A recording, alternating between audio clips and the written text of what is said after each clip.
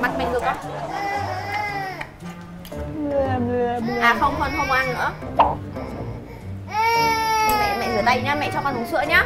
Đợi mẹ một chút. Sáng bố có cho con uống sữa không đấy? Cái gì? Sáng bố có cho con uống sữa không đấy? Sáng tưởng ăn ấy rồi không phải uống sữa nữa. Không. Thảo sao? Thế à? Nó thiếu nước đấy. Thế à? Ngày phải ba bình chứ không nhớ và sao nó khóc nó thế nó lại nó đói mềm người á? Thế à?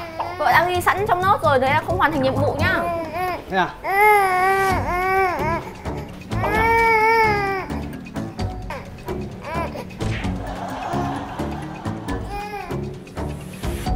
Em quan trọng ăn uống của con với ngủ nghỉ lắm. Nói chung là em cũng hơi kiểu quy tắc nguyên tắc một tí ấy bởi vì ăn giờ giấc sinh hoạt của con là em muốn là chuẩn chỉnh ấy bởi vì Mino nhà em nó không được bụ bẫm như những đứa khác cho lắm. Bỏ một bữa sữa là kiểu em cảm thấy tiếc ấy. Thế là bao giờ cũng phải sữa cũng phải đầy đủ cho con ấy. Là về nhìn nghe thì chồng như thế là ô quên mất thế là cũng, cũng bực mình ấy. Gì đấy con thèm con thèm con thèm sữa. Con mẹ thế à? Mình đọc nốt mình chả hiểu gì nhỉ đây mẹ đây mẹ đây mẹ đây mẹ đây mẹ đây đây đây đây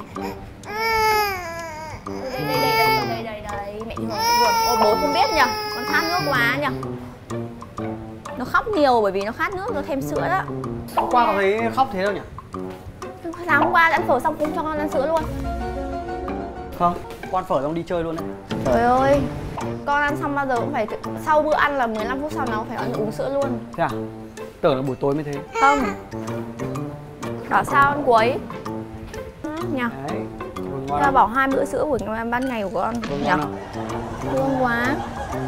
Bố cũng hoàn thành nhiệm vụ rồi. Đúng không? Lấy vừng bố trộn. Lại rơi này rồi.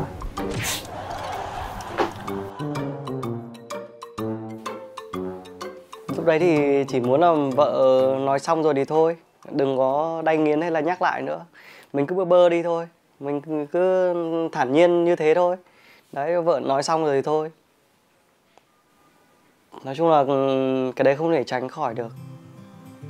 Chung là cứ ờ, dù sao thì những cái mà mình mình nhớ đến và mình uh, thực hiện nó ở trong mấy ngày vừa rồi ấy, thì nó cũng khá là vừa và đủ đấy có thiếu sót một tí thì thôi.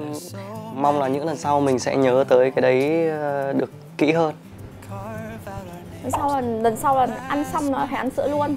Phải pha cho nó 200 sữa luôn. Một ngày nó phải à, ba bình như thế. Thế à như thế là cắt của nó một bình rồi. Ở nhà với bố chân sạch quá nha. Không cho con uống sữa là một nha. Để chân con như thế này là hai nha chồng em thế là ờ, cũng được 90% rồi. Em sẽ trừ 10% ra là cái chuyện không cho con uống sữa. Em phải nhắc đi nhắc lại cái chuyện đấy. Còn đâu là 90% là ok. Còn về thấy người con thơm tho sạch sẽ là cảm thấy yên tâm, Thấy nhà cửa các thứ dọn dẹp, không bày bừa ra là cũng thấy yên tâm rồi.